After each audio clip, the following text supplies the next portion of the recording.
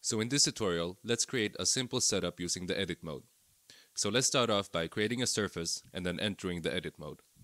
And with the surface and an empty cue selected, let's link a media to the surface to create a cue with only the media linked in it. And now let's add another media in the same way to a new cue. And so now we got two media stored in two separate cues. And now let's create yet another cue that has only the color stored in it by selecting an empty cue and left clicking on the color parameters. And then shift click to edit those values. And let's drag down the green and blue. And now let's copy this by alt clicking and dragging that cue into an empty cue space. And let's make this one green. And now let's copy that and make the next one blue.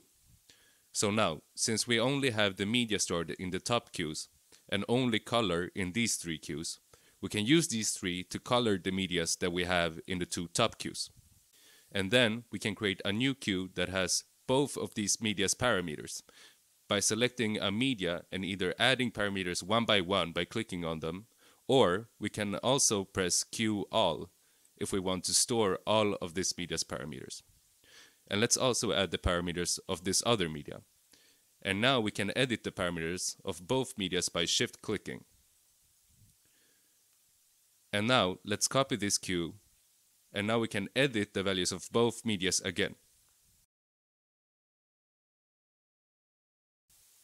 And now let's exit edit mode.